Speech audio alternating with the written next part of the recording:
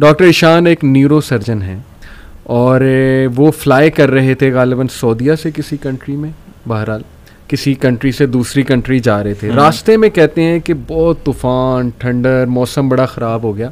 जहाज़ एक जगह रुक गया एक एयरपोर्ट पे बीच में। मैंने बड़ी रिक्वेस्ट की कि यार मुझे पहुँचना है वहाँ मेरा बड़ा इंपॉर्टेंट कमिटमेंट है ऑपरेशन है वगैरह वगैरह। तो पायलट ने कहा कि नहीं आ, हम नहीं ले जा सकते। आप ये है कि कोई कार करा के जीप करा के चले जाएँ वो करीब ही है जगह इतनी को दूर अब नहीं रही। कहते ठीक है हमने गाड़ी कराई। गाड़ी करा के हम जा रहे हैं तो तूफ़ान मज़ीद तेज़ हो जाता है। और हम इतफाक़न एक घर के सामने रुकते हैं। वहाँ पे मैं नॉक करता हूँ तो एक बूढ़ी अम्मा बाहर निकलती है। बड़ी काइंड थी हमने उससे कहा जी हमें अंदर आने दें बारिश बहुत है हम ज़रा थोड़ा देर रुक के चले जाएँगे। हमने अपने आप को फ्रेश किया। देखते क्या है कि एक बच्चा ज़मीन पर लेटा हुआ है, गद्दे पर, और वो बूढ़ी अम्मा बार बार उसके सर को दबा रही है और बड़ा परेशान है उसके बारे में। कहते, मैंने पूछा कि क्या मसला है इस बच्चे को? तो उन्होंने कहा कि इसका कोई रेन का मसला है या ऐसी कोई प्रॉब्लम है जो बहुत मुश्किल है यहाँ के डॉक्टर्स के लिए। तो उन्होंने कहा मुझे बताएँ, मैं भी डॉक्टर हूँ, मेरे बड़े वाकफियत है।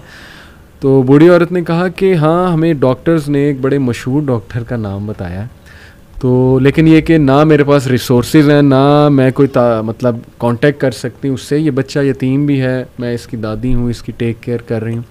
उसने कहा, मुझे बताएँ, मैं उस डॉक्टर का पता करूँगा। You have been so kind to me she said के डॉक्टर ईशान, अल्लाह अकबर।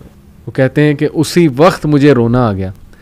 और उन्होंने कहा कि, आप क्या मतलब कर रही थी? आप अल्लाह से दुआएँ कर रही थी? क्या था ऐसा कि अल्लाह मुझे यहाँ पर ले आया?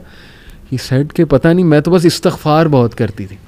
अस्तफ़रल्ला अस्तफ़रल्ला और मैं अल्लाह से कहती थी कि अल्लाह, हम तो नहीं जा सकते, बस किसी तरह तू ज़रिया बना दे, ये बच्चा तेरे सामने है। तो हदीस है ना कि जो इस्तफ़ार बहुत करता है, अल्लाह उसके लिए ऐसे ऐसे रास्ते बनाता है कि वो बंदा सोच में नहीं सकता। तो अल्लाह की फ़ौज को एस्टिमेट ना अंडर एस्टिमेट ना करें। अल्लाह की फ़ौज में फिर क्या क्या चीज़ें हैं, ये आप सोच में नहीं सकते, अल्लाह ने किस तरह उन्हें वहाँ लाना है।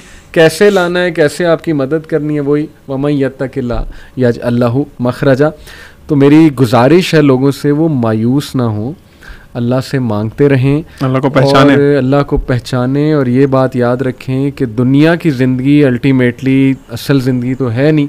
यहाँ जो मिल जाए उस पर अल्हम्दुलिल्लाह ग्रेटफुल जो ना मिले वो अल्लाह से ही मदद मांगें कि अल्लाह मुझे तकवीत दे अल्लाह मुझे पर्सपेक्टिव दे अल्लाह मुझे विजडम दे सकत दे और उम्मीद जारी रखें। ना उम्मीद कभी ना हो। यकीन करें ऐसी ऐसी स्टोरीज़ हैं मेरे पास। अभी टाइम इजाज़त नहीं देता। जब मैंने थोड़ी सी रिसर्च की जो लोग जो कपल्स मायूस थे औलाद के हवाले से।